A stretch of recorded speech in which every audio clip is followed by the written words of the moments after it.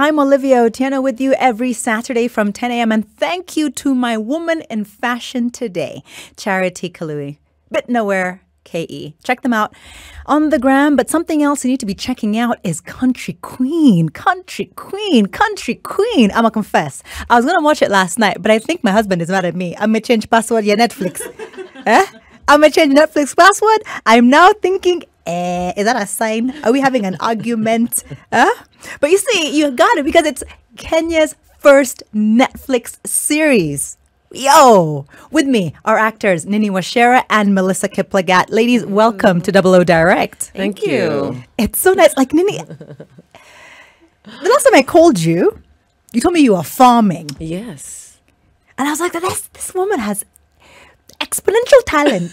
you know, I'm an artist on land and in my acting. I'm just an artist. So, yes. So, for those who are out of the inner circle, uninitiated, or don't have the internet, because oh, something I did earlier today that was really amazing, and I think you're gonna love this, mm-hmm. is I went on to my personal assistant. And I was talking to my personal assistant, and I was asking my personal assistant about movies that Nini Wacera has been in. Mm. Yeah. And I was asking my, hey Siri, name movies with Nini Wacera. Nini Wacera features Wingu la Moto and Evanescent. Yes. Yes. It is known. Yeah. the end. but you know, that's how you need more because, like, that cannot be it. Tell me, tell me. Yes. For those who don't know, give us an overview of who is Nini Wacera. I mean, I've been in this industry as an actress um, or an actor. I hate that word actress. As an actor or a performing artist and a radio presenter. Started off at the Phoenix in 1996. Um, performed there at the Phoenix, trained there with James Falkland, then got on TV in 2001 on Wingu la Moto. No, actually, no, it was Dangerous Affair. I was my first film. and that was when I was just like, okay, I, I really enjoy the screen. And I had um, so, so many experiences after that on TV with Wingu la Moto. Then there was um, Nairobi Law. Then there was Changes season one and two. Wait, did you ever watch it? Changes? Yeah. Yes. I'm in it. I've never watched it. Are you serious? I'm your landlady. No, no, don't laugh at me, Melissa. Don't laugh at me. Those were before the internet. Yes, it was really hard. You had to have oh. DSTV or a boyfriend who has DSTV. Yes. And I had a boyfriend who had DSTV. I clearly, So, yeah. I clearly had no boyfriend. Forget even one with DSTV. I clearly was single. Can you not watch it now? I want to. Wa- I really want to watch it because Yeah. we're all in it. Jimmy Gathu, Farid Yes. Kimani. Uh, Pierra Makena. I mean, a lot of the, the cast was an ensemble cast like this as well. Yeah. But then there was Kona, which Yes. was a telenovela after Yes. that, which we did for a year. Uh-huh.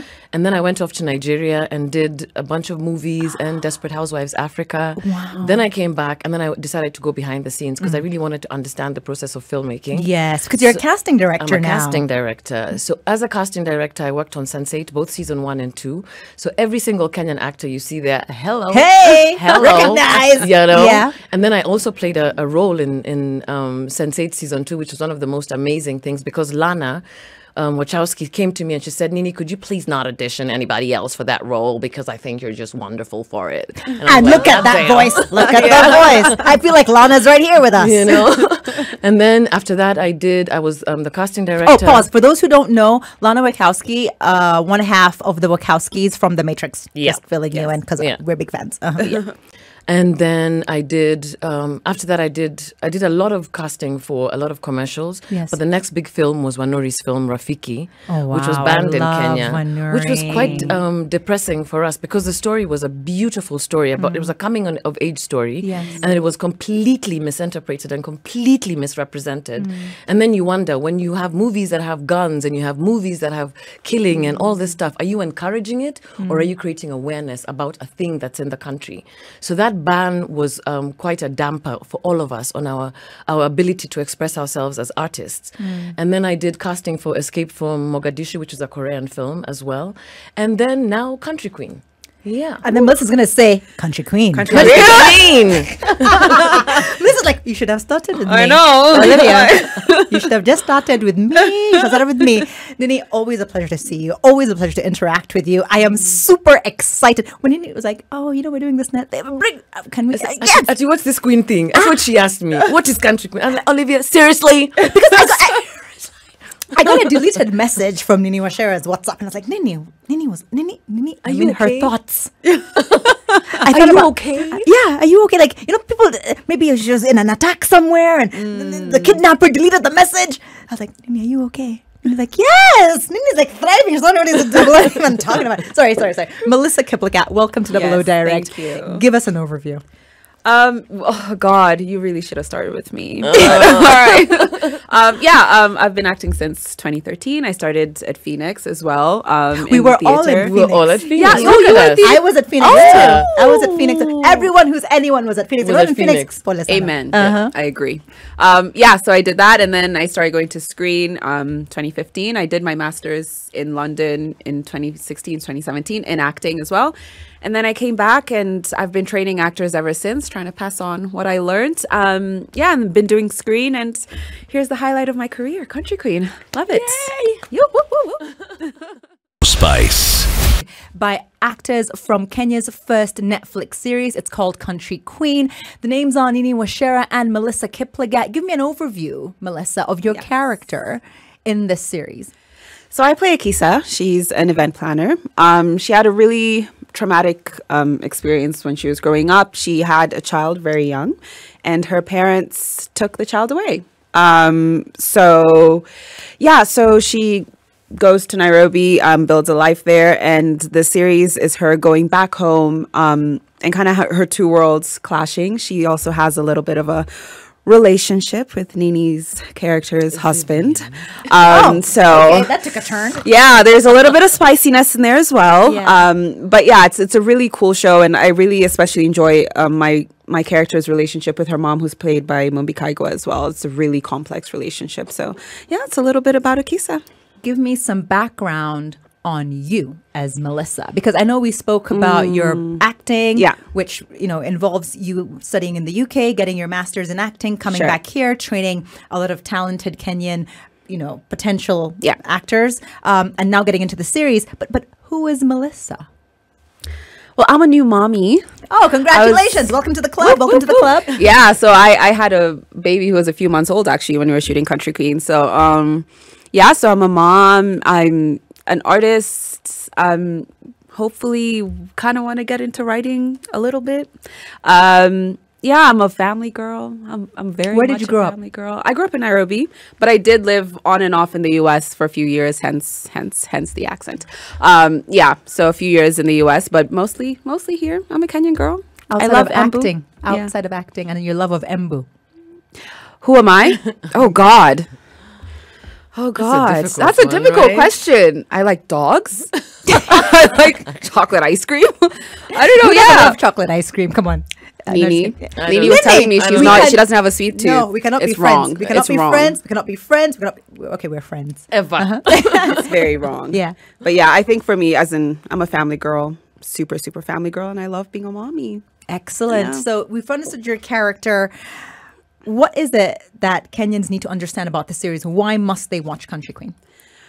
because it's it's really relatable and i think that's what i really like about it there's so many storylines so there's someone there's someone in that show that you're really going to resonate with um, and i think it's just amazing for Ken- it's a Kenyan story that was written by Kenyans. Um, it's not a adaptation from somewhere else.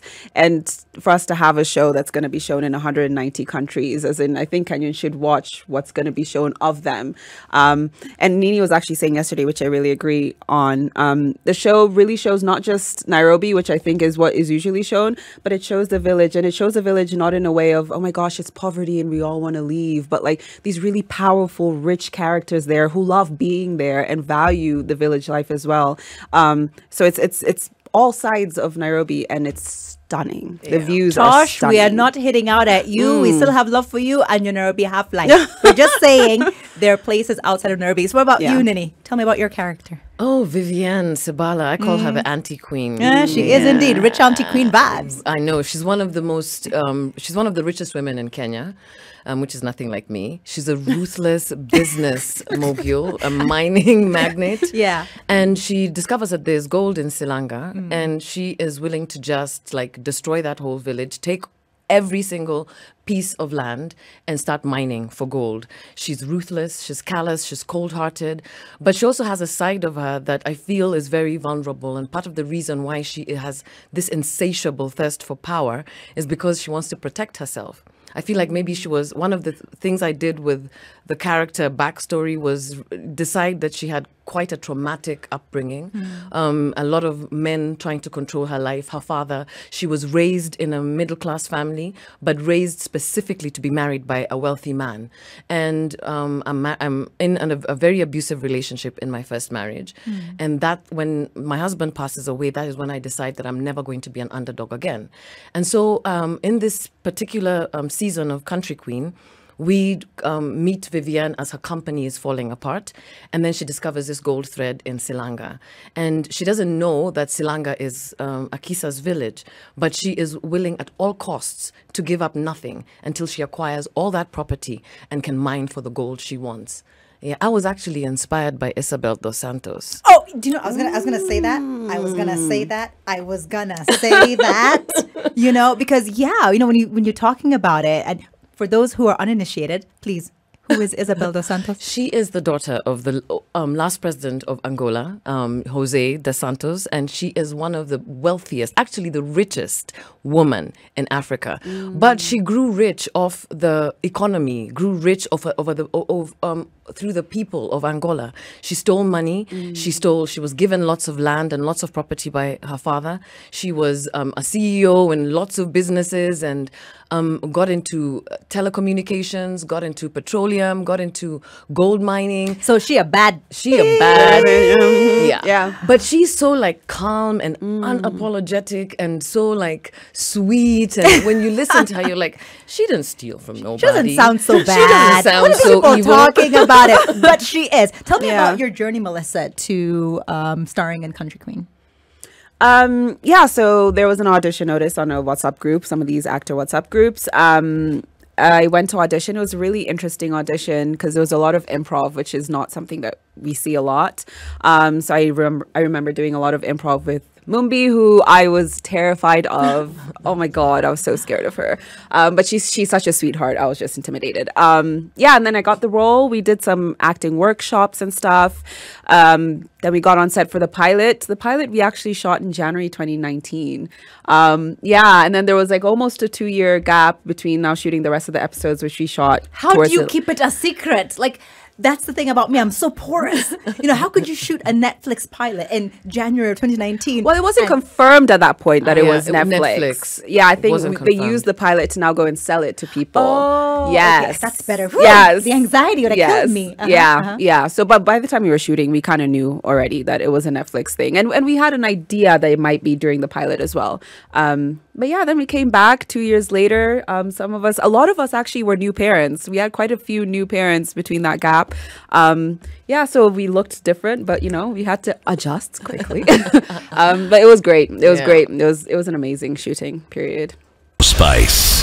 Olivia Otieno. This is a safe space for women where we only host women, play music by women. I'm dressed by a different woman in fashion every single week, and I get a whoop whoop whoop whoop. Although us guys were dressed by Babu, so I don't know. That counts, you know- girl. There's a man in your studio right now. Babu Yeah. is the equivalent of Snoop Dogg. I can always play a Snoop track or have designs and styling by Yeah. Babu. I, I just I think he's amazing. I think it's um, amazing. And it's so sad he can't dress you. You need to like change it. Like if you love women, then you can dress me. I Yeah. know. Because Babu loves the girls. and he you does. know what? He is so He is talented. so Incredibly. amazing. Incredibly, and so humble still. Yeah. Yeah. Yeah. You all look amazing. So tell me, what does it mean for the industry getting a Netflix series from Kenya? I think it's an incredible opportunity to showcase our talent, our stories on a global stage. I'm actually surprised it's taken this long. I And then again, you guys, you know, COVID and everything. Yeah. but what's even that? I don't think um, Netflix had really like looked as to Kenya as a potential investment opportunity, and I think they have now. And they have they signed an MOU with the government in April, which means that for the next two years, there's going to be a lot of capacity building. There's going to be a lot of talent training and and a lot more productions. I- In fact, I hear there are two more productions going on. Yeah, on- I've definitely heard about at least one. Yeah. yeah, on Netflix this year. So the fact that they've um, Netflix has come in to Kenya and not um, necessarily as uh, like a presence, like as an office or like a setup, but to produce more content means that first of all we have to put our standards of production much higher. Yes. Actors, you, get, you need to get your stuff together. You need to get your training on. You need to be able to be com- compared to artists or talent from other parts of the world. And I think we do already have an amazing, um, uh, like just basket of like storytellers and talent in this country. But I think what Netflix is going to do for us for the next few years is going to take us to the next level. It's going to make us look and feel like a more professional shoot or a more professional production. We're going to make a lot more money. It's a global platform. At the end of the day, global it's a global platform. How many Korean movies have I been watching lately? I'm thinking, I why am I watching these Korean movies? I need to be watching Kenyan ones. Exactly. So in that way, that it's opened up the world for us because, like, I love Colombian and um, Mexican. Esmeralda. I, I'm, I'm like mujer into like El Chapo. Yes. And, you know, Yeah. not not Esmeralda, El Esmeralda, Chapo, yeah. and like the Marked Heart stories like Okay, that, like drama nice. thrillers. Yes. Um, which Queen of the South, you know, she could be starring exactly. in Kenya's Yes. Queen of the East. Yes. Yes. Okay. uh-huh. exactly. So Yeah. Mm. stuff like that is more available to us. I think we were so hooded by this idea that the way that Hollywood made movies was the only way to make movies. Yes. But now look at the um, amazing stuff that comes out of Korea. Look at the amazing stuff that comes out of South America as Turkey. well. Uh, out of Turkey and also to be able to access Nigerian content that's Yes. not like you know the That's kind a- a higher quality. a, a much Yeah. higher quality Yes. and also to be uh, what I'd like to see happen actually is more of a unity in Africa Mm. that we get a, a lot more co-productions between these countries that Netflix has a presence in South Africa, South Nigeria, Africa, Kenya. Nigeria, Kenya, Yes. Egypt as well like but so that we stop being these like little islands of production units or industries and come together and tell magical stories about Africa so that's what I'm hoping that this does for our industry in Africa as a whole That's incredible. What was your experience like, Melissa? I mean, this is one of your first big productions as an Yes. Actor. What was uh, how long did shooting take and what was it like for you being on set? Um, shooting, I guess, for the last year. Um, the shoot itself was four months. Um, my days were a bit over a month worth. Like I said, I was a new mom, so it's a lot of pumping. I have a lot of respect for mothers who go back to work, honestly. Um, so it was a little bit exhausting just because of that, and I was also working somewhere else as well. Um, but it was it was such a family. You know, the thing I loved about Country Queen is it really was the best of the best of every Oh, yes. industry the directors, the DOPs, the art department, everything. And so when you show up to set, like you're never irritated by anyone not doing their job. Everyone was just so Yes, on that can be annoying. People Yes. who just don't do their job and makes it impossible for you to do yours. Exactly. Exactly. But everyone was so on point. So there was a lot of respect in the set. Um, and people were really efficient. And we formed a family because a lot of the shoot, okay, maybe not the Nairobi part, but a lot of the shoot in Silanga, which is Machakos Murang'a, we were staying on on site for about a month. So we formed a little family as well, which was really nice. Um, yeah, so it was it was great to work with- with the caliber of people that we were working with. It was fantastic. Nini, your experience because you've had so much on set experience already and Yeah. you've been casting, you know, for several years now. What was that like for you? This was one of actually the most professional set I worked on. First of all, there was no like overlapping of roles or responsibilities. Everybody knew what they were there to do, and they were the top-notch crew in the industry. It was Sanch was the DOP, or or um, Drew was the DOP. It was like guys who have worked so hard in this industry to build a certain professional level and, and capacity for themselves.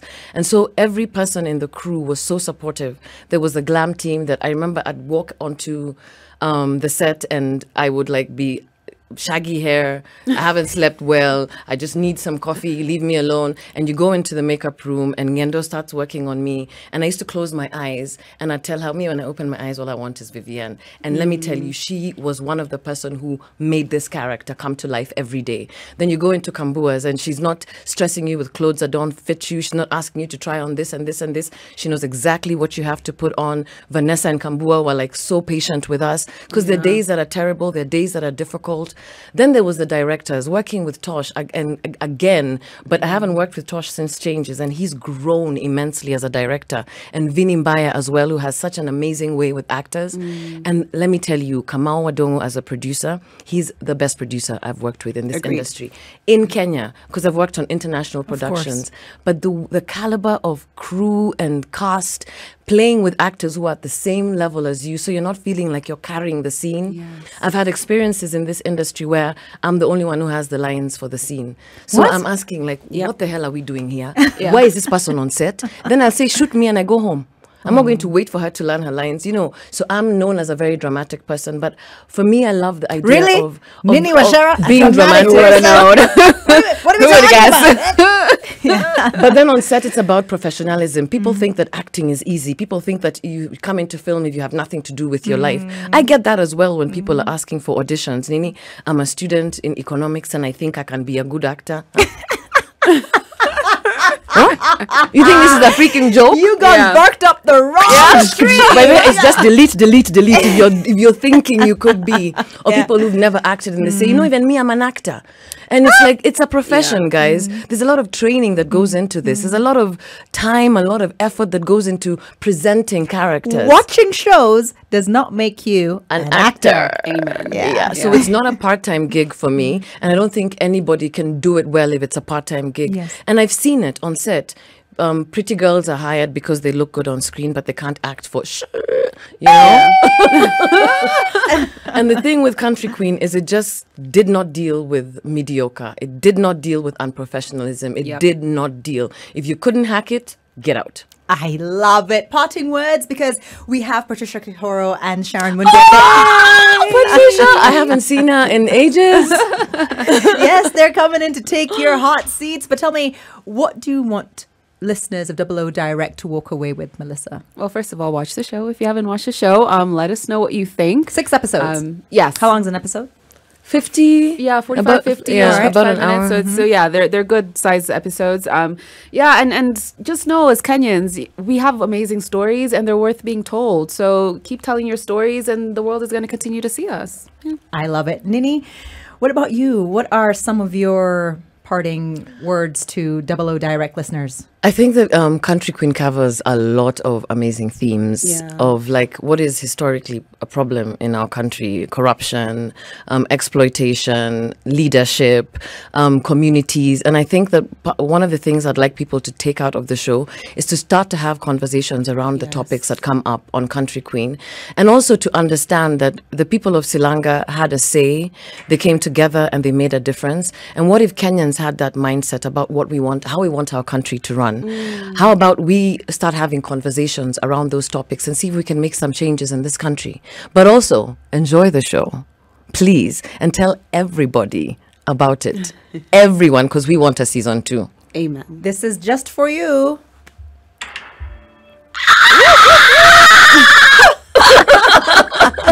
Nini Wacera, Melissa Kiplagat, it has been a pleasure. Enjoy your weekend. You know what we're going to do after? We're going to Netflix and chill. Oh, yeah. oh, yeah.